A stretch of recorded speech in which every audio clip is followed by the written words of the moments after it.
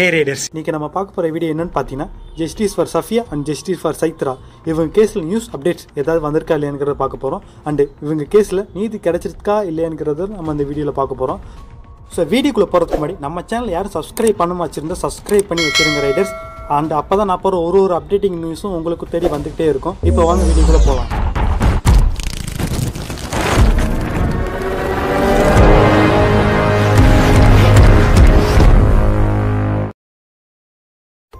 Okay riders நம்ம வந்து first justice for Chaitra case news update வந்து பார்க்கலாம். ஸோ நான் போன வீடியோல சொன்ன மாதிரி இவன் வந்து சிஸ்டர் அப்படி பண்ணிட்டு அவங்க ரிலேஷன்ஷிப் வீட்டில் போயிட்டு தலைமறையவா ஆகிடுறான். ஸோ இந்த நியூஸ் பார்த்தீங்கன்னா அங்கே உள்ள டிவி சேனல் மீடியாக்கள் ரொம்பவும் ட்ரெண்டிங் ஆயிருது இதில் போலீஸ் இருந்துட்டு என்ன பண்ணுறான்னு பார்த்தீங்கன்னா அவனை கண்டுபிடிக்க அங்கே உள்ள சிசிடி கேமரா செக் பண்ணி பார்க்குறாங்க. அப்படி செக் பண்ணி பார்க்கும்போது அங்கே உள்ள ஒரு சிசிடி கேமராவில் அவன் ஒரு ஆள் கூட நடந்து போகிறத சிசிடி கேமரா மூலமாக கேட்ச் அவுட் பண்ணுறாங்க அவனை. ஸோ அப்படி கேட்ச் அவுட் பண்ணும்போது இப்போ வந்து பார்த்தீங்கன்னா சாதாரணமாக எல்லா இடங்களையும் நடமாடிட்டு தெரிஞ்சுக்கிட்டு இருந்திருக்கான்.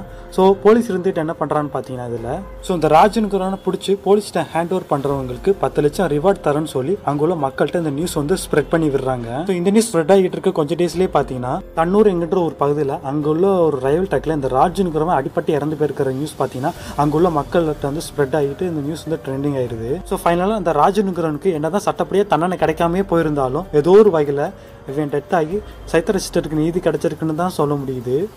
ஓகே ரைடர்ஸ் நம்ம வந்து நெக்ஸ்ட்டு சஃபியா கேஸோட அப்டேட் என்னன்னு பார்க்கலாம். ஸோ இவங்க கேஸில் என்ன அப்டேட் ஆகிருக்குன்னு பார்த்தீங்கன்னா இவங்க இறந்தது கடந்த ஆகஸ்ட் மாதம் இருபத்தி ஏழாம் தேதி இறந்து போயிருக்காங்க. ஸோ அப்பையிலேருந்து இப்போ வரைக்கும் பார்த்தீங்கன்னா எந்த ஒரு விஷயமும் கண்டுபிடிக்கப்படாமையே ஒரு கேவலமான ஒரு விஷயமா இருந்துகிட்டு இருக்கு இவங்க கேஸில் இந்த விஷயம் பார்த்தீங்கன்னா இவங்க கேஸில் அப்டேட்டிங்காக இருந்துகிட்டு இருக்கு. நான் ஃபர்ஸ்ட் சஃபியா கேஸ் அப்டேட் சொல்லாமல் சைத்திர சிஸ்டரோட அப்டேட் சொன்னதுக்கு காரணம் என்னன்னு பார்த்தீங்கன்னா இதுதான். ஏன்னா எந்த ஒரு அப்டேட்டும் இல்லாதனால தான் நான் சைத்திர கேஸ் அப்டேட் வந்து சொன்னேன்.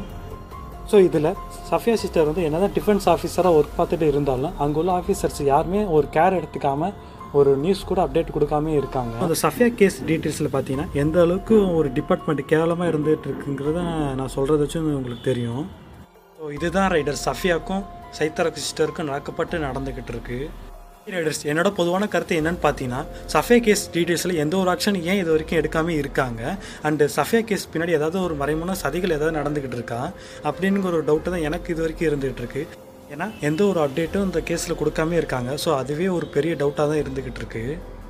இதில் சஃபியா சிஸ்டருக்கு நீதி கிடைக்கிற வரைக்கும் நான் இதை பற்றி பேசிக்கிட்டே தான் இருக்க போகிறேன் அண்ட் ஜஸ்டிஸ் ஃபார் சஃபியா கேஸில் ஜஸ்டிஸ் கிடைப்போம் நம்புவோம். ஸோ இதுதான் ரைடர்ஸ் சஃபியா சிஸ்டருக்கும் சைத்தர சிஸ்டருக்கும் நடக்கப்பட்ட அப்டேட் நியூஸ் எல்லாமே.